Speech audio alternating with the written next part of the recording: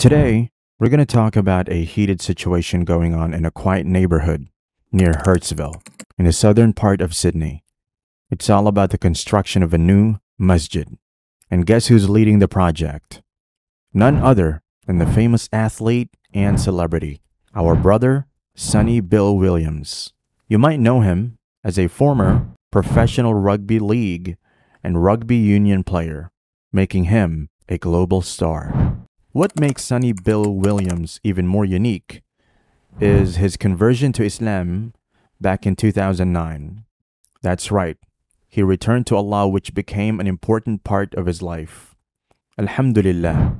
Nowadays, he's taking the lead on this masjid project, which has brought both support and opposition from the local residents. You see, the neighborhood has become a battleground of opinions. On one side, there is excitement and appreciation for the masjid's construction, seeing it as an opportunity to bring a sense of community and cultural diversity. It could become a place of worship and gathering for Muslim families in the area. However, on the other side of the coin, there is a group of residents who are vehemently against the idea of having a masjid in their neighborhood. They are worried about potential safety concerns and the impact it might have on their children. They fear that the presence of a masjid could lead to problems or clashes with the existing community. After an eternity of legal back and forths, the New South Wales Land and Environment Court has finally given the green light in 2022 for the masjid to be built on the site of an old retirement home. However, even with this decision, the feeling of uncertainty and opposition among residents remains strong.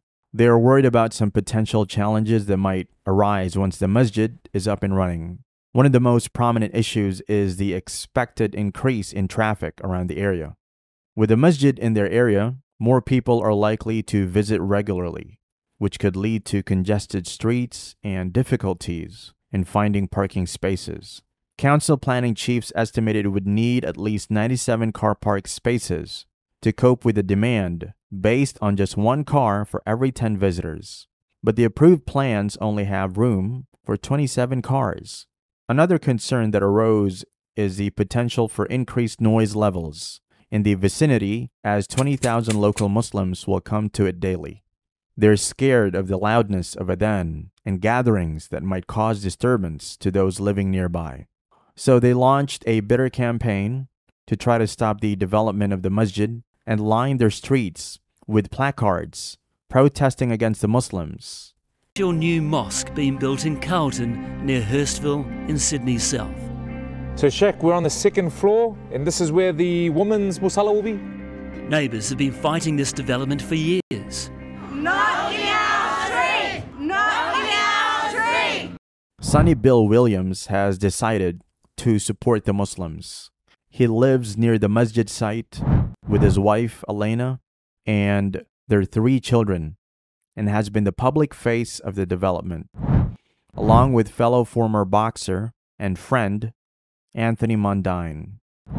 Both of them have reportedly donated $200,000 to the masjid.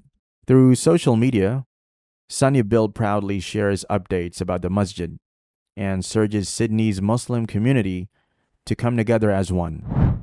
However, not everyone is on board with Sonny Bill's actions. Some are admiring Sonny Bill's dedication to his faith and his efforts to build a sense of community among fellow Muslims in Sydney. They see him as a role model, using his platform to advocate for something he deeply believes in. On the other hand, local residents raise concerns about the accuracy of the information being shared. They worry that a celebrity's claims could influence public opinion and create misunderstandings. According to them, it is unfair to give such a facility and privilege to Muslims in their neighborhood. So oh, please don't get me on Sonny Bill Williams.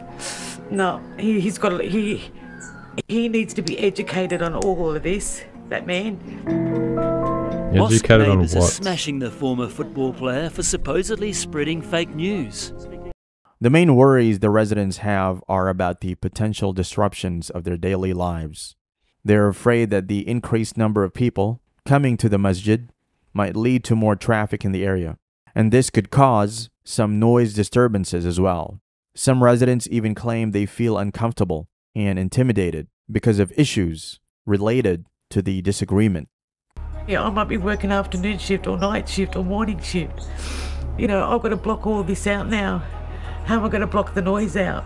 How am I going to get my sleep? Where's, what about us? We're the ratepayers. Sonny Bill believes that it is our duty to interact with our neighbors in a kind and respectful manner. Islam teaches us to engage in friendly discussions and show kindness to those around us. We should take the initiative to clear up any misunderstandings people might have about our faith.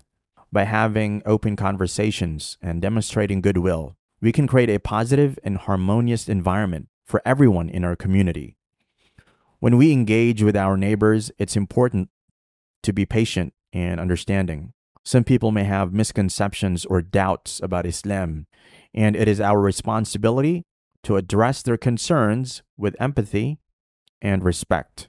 By doing so, we can build trust and foster a better understanding of our beliefs. According to Muslims and Sonny Bill, the building of masjid can bring people from different communities closer together and demonstrate how embracing diversity can lead to positive outcomes. Sonny Bill's main focus is on promoting religious tolerance, which means understanding and accepting each other's beliefs without putting one faith above another. Instead, he wants everyone to appreciate the beauty of having various backgrounds and traditions, and to cherish the connections that arise from mutual respect and shared experiences. He promised that the masjid would be a place of worship for Muslims, where they can practice their faith.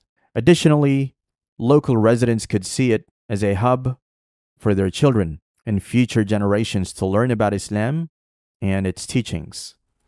So before ending this video, we would like to say that the battle over the construction of the masjid near Hurstville has become a tense standoff between Muslims and local residents. While Sonny and the masjid supporters want the masjid built for their community, neighbors are worried about how it might disrupt their peaceful neighborhood. To solve this problem, both groups need to talk openly and try to understand each other.